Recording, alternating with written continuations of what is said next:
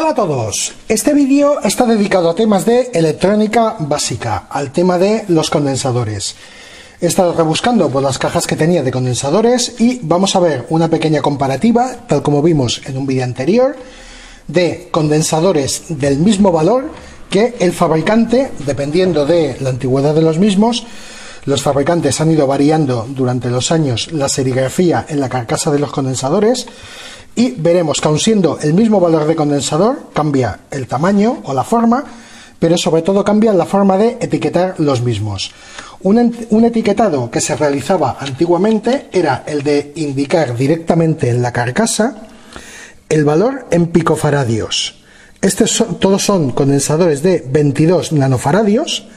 En cambio, en estos, el fabricante indicaba 22.000 picofaradios tal como veis. Por lo tanto, 22 nanofaradios. Ya digo, son condensadores muy antiguos, de los usados en televisores.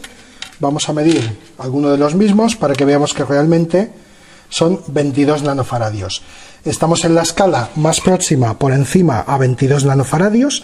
La escala de 20 no nos serviría en el medidor, por lo tanto pasamos a la escala de 200 nanofaradios. Vamos a realizar la medida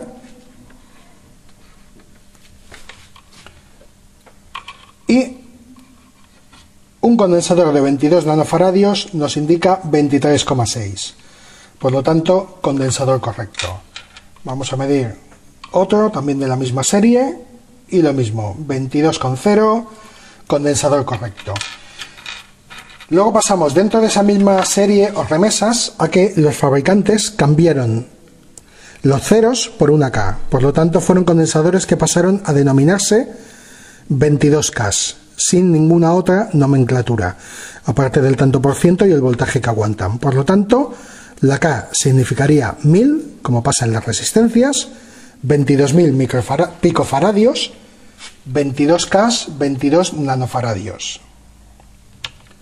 Medimos, lo dicho, 21,1, está ligeramente por debajo de tolerancia, no es de extrañar porque es un condensador muy antiguo. Otros condensadores usados en la época de los televisores antiguos, en lugar de picofaradios, indicaban la serigrafía del condensador referente a los microfaradios.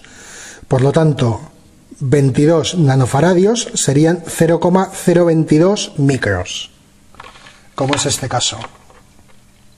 Mediremos y nos aseguramos que es de 22. Como veis, 21,8. Estaría bien.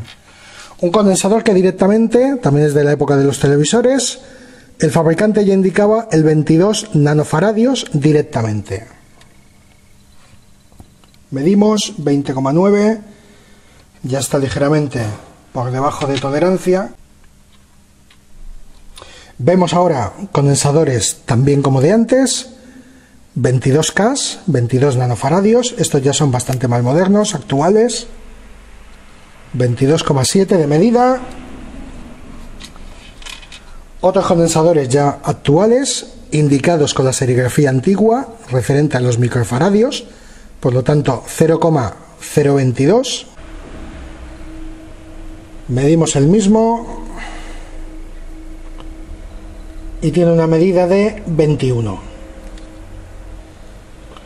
Vamos a ver uno con serigrafía un tanto especial, nos indica 223J, por lo tanto debemos entender 22 y 3 ceros, 22 nanofaradios igualmente.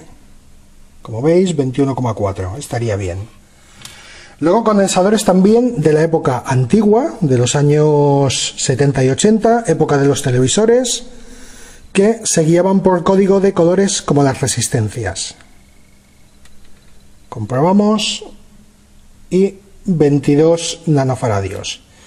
Vamos aquí a comparar con uno de 27, rojo 2, violeta 7, naranja 3, 3 ceros.